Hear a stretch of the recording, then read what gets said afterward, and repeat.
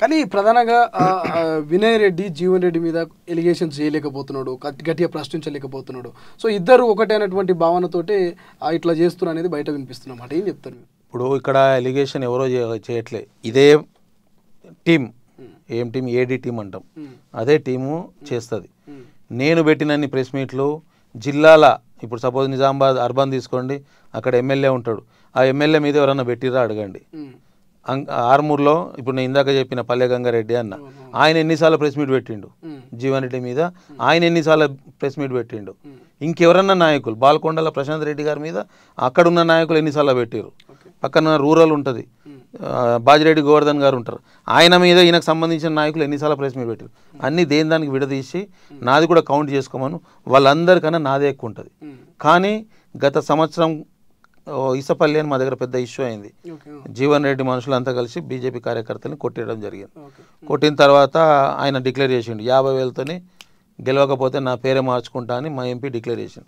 నేను పక్కకే ఉన్నా. ఇప్పుడు గెలవడము అనేది వేరు. గెలిపించుకుంటాం అనేది వేరు. గెలిపించుకుంటామంటే ఆయన ఆయన ఉందాగా ఉన్నట్టు. గెలుస్తా అంటే పక్కన పక్కన పక్కన నేను ఉన్నా ఒక ఇరవై వేల ఓట్లు వచ్చినాయి. ఓడినా కానీ మూడో రోజు నుంచి నేను మళ్ళీ పని చేసుకుంటూ వస్తున్నా. నేను పక్కకు ఉంటే నేను నేనే చేస్తా అనే భావనలో మాట్లాడితే నాకు ఇంతవంత నేను కూడా ఏడెనిమిది సంవత్సరాల నుంచి పార్టీ కోసం పని చేసుకుంటూ వస్తున్నా. ఎదుర్కొన్నారా? అట్లా ఇబ్బందులు ఏమన్నా? ఎంపీ అరవింద్ ఈసారి పోటీ చేస్తారట కదా వినయ్ అన్న మీరేమన్నా వందల మంది అడుగుతారు. ఒకసారి ఏమైంది? ఒక టూ ఇయర్స్ బ్యాక్ సోషల్ మీడియాలో బయటికి రిలీజ్ అయినాయి.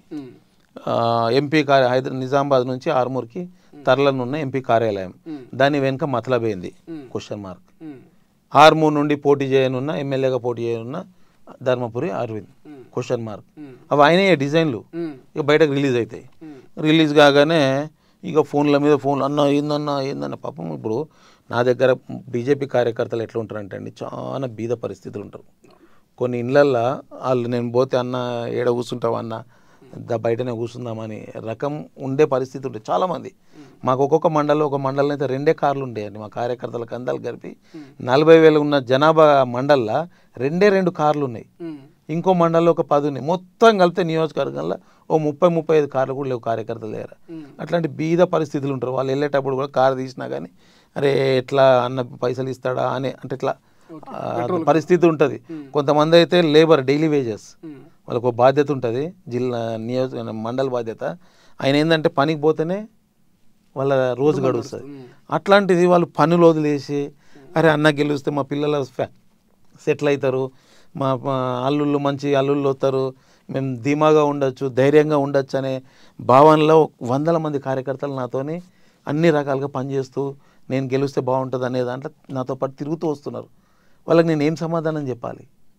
ఈ రకంగా నన్ను ఇబ్బంది పెడుతుంటే చాలాసార్లు నేనే ధైర్యం చెప్తుంటే "ఏ, ఏం కాదు. ఈ టికెట్ మనకే వస్తుంది మనకే వస్తుంది. అట్లేం ఉండదు అని చెప్పి ఒకసారి చెప్తూ చెప్తూ ఆ డిజైన్స్ వచ్చిన రోజే సరాసరి ఎంపీ ఇంటికే పోయినాయి అటు ఇటు ఎందుకని. ఎంపీ గారి ఇంటికి పోగానే అలా కింద పిఏ వచ్చిండు. సార్ సార్ జిమ్ చేస్తున్నాడు. ఒక గంట పడుతుంది సార్ అన్నాడు. ఎటన్నా పోయిరమ్మన్నాడు అన్నాడు. ఇప్పుడు నేను ఒక నియోజకవర్గ నాయకుడిని? నియోజకవర్గ నా కార్యకర్త నేనైతే సామాన్య కార్యకర్త వచ్చినా సరే సామాన్య కార్యకర్త వచ్చినా సరే నేను ఉన్నా కానీ వచ్చి మాట్లాడిస్తా. అట్లాంటిది ఒక నాయకుడు వస్తే ఇంకొకసారి అయితే ఇంటికి పోతే అయితే లేదు రేపు ఆఫీస్కి రమ్మని ఇంట్లో కూర్చున్నాక బయటకు వచ్చిన. అది ఇప్పటివరకు ఎక్కడ చెప్పుకోలే. చెప్పుకుంటే నా ఇజ్జత్ పోతుంది. నా విలువ గంతేనా అని ప్రజలు అనుకుంటారు. అట్లాంటి సిచ్యువేషన్లో ఆ రోజు కూడా చాలాసేపు ఉన్నా ఒక మిత్రుడిని అడిగిన ఏం చేయాలన్న? సిగ్గుందా చక్కగా లేచి నడువు అన్నాడు. చక్కగా టీకా పడబెట్టేసి లేచి వెళ్ళి వచ్చేసిన. ఇంట్లోనే ఉన్నారు అరవింద్ గారు కలవనికి జిమ్ పైన ఫస్ట్ ఫ్లోర్లో జిమ్ చేస్తున్నాడు. నిజంగా మాట్లాడాలనుకుంటే జిమ్ కాడికి పిలిస్తే మాట్లాడుతుంటే కూర్చొని ఏముంటుందేమో శత్రువులమ్మా వేరే పార్టీ ఉన్నా. కాదు కదా. సరే అని చెప్పి ఏం చేసిన బయటకు వచ్చిన. ఆయన పిఏ లేకుండే ఆయన లీవ్లో ఉన్నాడు. ఇక తర్వాత బయటకు వచ్చిన పది నిమిషాలకి మళ్ళీ పిఏ దగ్గరికి ఫోన్ వచ్చింది. అన్న సార్ రమ్మంటున్నాడు అన్నాడు. లేదు లేదు నాకు ఆల్రెడీ ఇంకొక అపాయింట్మెంట్ తీసుకున్నా. నేను వెళ్ళిపోతున్నా అని చెప్పిన. అప్పుడు కరోనా ఫేజ్ టూ నడుస్తుంది. ఒంటి గంట వరకు లాక్డౌన్ రెండు గంటల వరకు ఇంట్లోకి వెళ్ళిపోవాలి. ఇది June two thousand twenty one. ఇక ఎంతో గాయమైంది. గాయమైంది కనుక మంత్ అవన్నీ చెప్పగలుగుతున్నా. ఇక బయటకు వచ్చేసినాక మళ్ళీ ఒక పావు గంట ఇరవై నిమిషాల తర్వాత నేను రిటర్న్ ఇక టూకి వెళ్ళిపోవాలి కనుక వన్ థర్టీ అవుతుంది. పంజాగుట్ట ఫ్లైఓవర్ ఎక్కి దిగుతున్నా. మళ్ళీ ఫోన్ వచ్చింది. ఏ బాగుండదు అన్న రా అన్న బాగుండదు రా సార్ రమ్మంటున్నాడు అంటే సరే అని యూటర్న్ తీసుకొని పోయినా. ఇక డైరెక్ట్ ఆయన్నే అడిగిన. మీరు గెలిచి రెండు సంవత్సరాలు అయింది ఎంపీ గారు. ఏమిచ్చిర్రు? నేను ఒక మెజారిటీ ఇచ్చిన. నా ద్వారా మా నాయకులకు కానీ కార్యకర్తలకు కానీ ఎవరికైనా పదవి ఇచ్చిర్రా. పదవులు ఎట్లుంటాయంటే అండి ఇప్పుడు నేను మీకు ఇవ్వాలంటే నేను హామీ ఇవ్వ. అంటే హామీ ఇస్తే ఫ్లాప్ అయిపోతా. కానీ నా పక్కకే మా పల్లె గంగారెడ్డి అని ఉంటాడు. ఆయన నా పక్కకు ఉండి హామీ ఇస్తాడు. నీకెందుకు నేను ఇస్తా శ్రీశైలం నీకు బీజేపీలో బాధ్యత ఇస్తా అని ఆయన చెప్పుకుంటాడు కానీ నేను చెప్పుకోలేని పరిస్థితి. ఏం చేయాలా? కక్కాలనా దగ్గాలనా అర్థం కాని పరిస్థితి. అరవింద్ గారు ఎంపీగా పోటీ చేసినప్పుడు పసుపు బోర్డు తీసుకొస్తా అనేది ఆర్మూర్లో పసుపు బోర్డు పసుపు రైతులు ఎక్కువ ఉన్నారు. సో ఆ- ఆ యొక్క ఇంపాక్ట్ మీ మీద ఏమైనా పడ్డదా? వినయన్న ఏమైంది పసుపు బోర్డు అని చెప్పి అడిగిన అడిగిండ్రు చాలాసార్లు అడిగిర్రు. ఎంపీ గారు కూడా చెప్పుకుంటూ వచ్చిండు. పసుపు బోర్డు అనేది అంబాసిడర్ కారు. నేను ఇప్పుడు స్పైసీస్ బోర్డు తెచ్చిన అది అనేది బెంజ్ అన్నాడు. ఏం చేయాలో మేము కూడా అదే చెప్పినాం. అది అది అంబాసిడరు ఇది బెంజ్ అన్నాం. సరే బెంజ్ అని చెప్తే నమ్మడం అంటే వాళ్ళకి ఏదన్నా డబల్ వాళ్ళు అనుకున్న గతంలో ఐదు వేలు అనుకుంటే పదివేలు వస్తే నమ్ముతారు. ఇంకోటి ఏం చెప్పినాం మనం? మీకు డిఫరెంట్ డిఫరెంట్ కంపెనీస్ వస్తాయి. ఈ ప్రాంతంలో కంపెనీ వచ్చి వచ్చి డైరెక్ట్ రైతుల దగ్గరికే వచ్చి మీ పసుపును కొనుక్కొని పోతారు. మీరు బీట్ల దాకా అక్కడ దాకా పోవాల్సిన అవసరం లేదు. మీకు ఇక్కడే డబ్బు ఇచ్చి తీసుకొని పోతారు. మీకు కోల్డ్ స్టోరేజ్ వస్తాయి అవి వస్తాయి ఇవి వస్తాయి అంటే నేను కూడా ఊహించుకున్నా. ఓహో కోల్డ్ స్టోరేజ్ వస్తాయేమో కంపెనీస్ వస్తాయేమో అనుకున్నాం. ఈ రోజుకైతే ఏం రాలేదండి. చెప్పుకోలేక కక్కలేక ఉన్నాం మా పరిస్థితి. ఇప్పుడు మిగతా నాయకులంతా ఇప్పుడు జీవన్ రెడ్డి కావచ్చు అరవింద్ కావచ్చు వీళ్ళంతా నాన్ లోకల్ కానీ వినయ్ రెడ్డి అనే వ్యక్తి లోకల్. సో బలమైన లోకల్ వాదిగా లోకల్ వాయిస్గా మీరు ఈసారి ఎన్నికలకు పోనున్నారు. ఒకవేళ బీజేపీలో ఉంటే ఏ నినాదంతో మీరు ఎన్నికలకు పోయేవాళ్ళు? ఎందుకంటే పసుపు బోర్డు అన్నారు తీసుకురాలేదు కదా ఏ ఇప్పుడు పసుపు బోర్డు అనేది ఆయన హామీ ఇచ్చిండు. మనం ఏం చేయగలుగుతాం రైతులకు అనేది ఈ రాష్ట్ర ప్రభుత్వం ద్వారా రా గెలిచినాక ఏం చేస్తాం అనేది మనం ఇవ్వగలుగుతాం. నేను గెలవకున్నా నేను బాధ్యత లేకున్నా నేను ఎన్నో కార్యక్రమాలు చేసిన కరోనాలో కొన్ని వేల కుటుంబాలకు ఆర్థిక సాయం చేసినాం.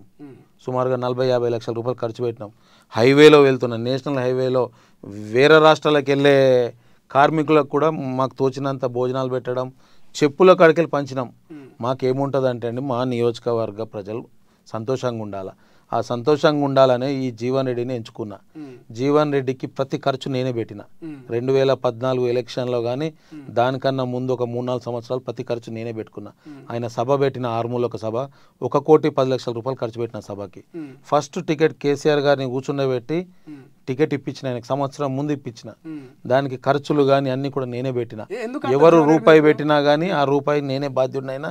ఆయన గెలిచినా కానీ ఆయనను ఎవరు అడిగేవాళ్ళు కాదు నా దగ్గరకు వచ్చి అడుగుతుండే.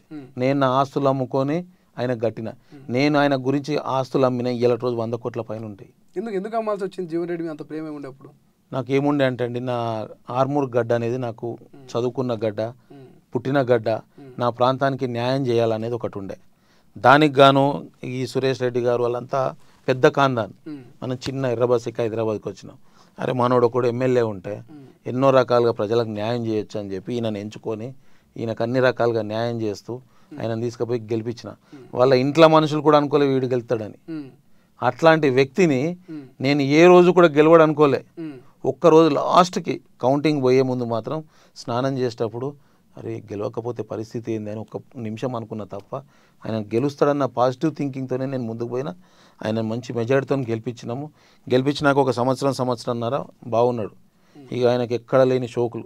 ఈ భూమి మీద హయ్యెస్ట్ షోకులు ఎవరికి ఉన్నాయంటే జీవన్ రెడ్డికే ఉంటాయి. ఆయన మనం ఇచ్చేది పది మందికి రూపాయి ఇచ్చేది ఉంటుంది. వచ్చి బంజారాస్ ఇల్లు కొంటా అంటాడు. ఆ కారు కావాలా? ఈ వాచ్లు కావాలా? యాభై లక్షల మొబైల్ కావాలా? ఇట్లాంటి షోకులు ఉన్నాయి. ఇప్పుడు ఒక ఎమ్మెల్యే ఎట్లా ఉండాలంటే మనం ఏం చేస్తాం ప్రజలకనే ఆలోచన ఉండాలి. ఆ ఆలోచన లేదు ఇక ఇక ఎమ్మెల్యే అయిపోయినాం కదా ఏం కొందాం ఏం పోదాం ఇదే ఆలోచన. ఈ పెట్టినోడు ఫస్ట్ నేను పెట్టిన. ఈ పెట్టినోడు ఏం చేద్దామన్న ఆలోచన కూడా లేదు. ఇక నేను అనుకున్న ఈయన చాలా స్వార్థపరుడు ఉన్నాడు. ఈయనతో నేను ఉంటే నేను ముందుకు పోలేను. నేను ఇక ఇట్లా నేను ఇంత చేసిన మనిషికే న్యాయం చేయనప్పుడు ఈయన ఆర్మూర్ ప్రజలకి ఎట్టి పరిస్థితుల్లో కూడా అన్యాయం చేస్తాడని చెప్పి గ్రహించి ఇక ఆర్మూర్కే పోయినా. ఆర్మూర్కే పోయి ప్రజలతో మమేకమై యువసేన ద్వారా ఎంతోమందిని కలుస్తూ ఈయన ఎన్నో రకాలుగా ఇబ్బందులు పెడుతున్నా.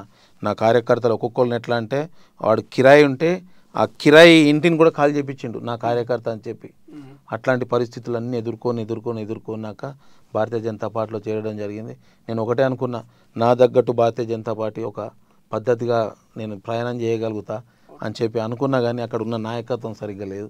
అక్కడ ఉన్న సీనియర్ నాయకులు అంతా కోవట్లు ఇంత ఒకసారి ఈటల రాజేందర్ గారు చెప్పినట్టు మా ఆర్మూర్ నియోజకవర్గంలో హయ్యే హయ్యెస్ట్ కోవర్ట్స్ ఉన్నారు. అందరు ఎమ్మెల్యేతో టచ్లు ఉంటారు. దాంట్లో పార్టీలో నాతో పాటు ఉండి కూడా టూ థౌజండ్ ఎయిటీన్లో జీవన్ రెడ్డి ఓటేసి అన్న నీకే వేసిన అని చెప్పి భయంతో ఉమ్, ఆయనకు పంపించిన వాళ్ళు కూడా ఉన్నారు నా పక్కకి. ఇక అట్లాంటి మనుషులు అందరితో నేను చేయలేకపోయినా కార్యకర్తలు ఉన్నారు. ప్రాబ్లం లేదు కార్యకర్తలు ఉన్నారు ప్రజలు నాతోనే ఉన్నారు. కానీ ఇప్పుడు ఎక్కడైనా సపోజ్ మీరు ఇందాక అన్నారు జీవన్ రెడ్డిని ఎందుకు ఎదిరించలేదని. ఇప్పుడు నేను జీవన్ రెడ్డిని మీద ప్రశ్నిస్తా. ప్రశ్నించినాక జీవన్ రెడ్డి ఇంకో ముగ్గురు నలుగురు ఎం ఎంపీటీసీలో కౌన్సిలర్లతోనో నన్ను తిట్టిపిస్తాడు. తిట్టిపించినాక దాన్ని నేను ఏ రకంగా ఎదుర్కోవాలి? నా దగ్గర ఉన్న ముఖ్య నాయకులందరూ ఆ, పెట్టే పరిస్థితి ఉండదు. ఇప్పుడు ఎంపీటీసీలు ఉన్నా నేను ఎంతో మందిని గెలిపించుకున్నా నేను ఆర్థిక సాయం చేసి గెలిపించుకున్నా ప్రతి ఒక్క ఎవరైతే గెలిచిన ప్ర- ఉన్నారో నాయకులు అందరికి కూడా నేను ఆర్థిక సాయం చేసిన. అట్లాంటి వాళ్ళు అయినా సరే కొన్నిసార్లు ఏమో మళ్ళీ ఎందుకు ఎంపీ చూస్తే మళ్ళీ ఏమనుకుంటాడు ఇట్లా భయంతో ఆడ మళ్ళీ తర్వాత దానికి రెస్పాండ్ అయ్యే పరిస్థితుల్లో లేను. ఇక ఏం చేయాలి? నేనే చక్కగా లేనప్పుడు నా పార్టీయే నా మనుషులే చక్కగా లేనప్పుడు నేను వాడిని తిట్టి చేసేది ఏముంటుంది? అని చెప్పి ఒక సంవత్సర కాలం నుంచి ఇక ఆయన మీద ప్రెస్లో మాట్లాడలే. ఏదో ఛానల్స్లలో వస్తే ఇట్లనే కుల్లం కుల్లం అని అవి వస్తే అసలు ఏం జరిగింది అనే దాని గురించి చెప్పిన తప్ప ఆయనతో ఎక్కడ కూడా నేను డైరెక్ట్గా ఢీకొనే పరిస్థితిలో లేకుంటే. ఓకే.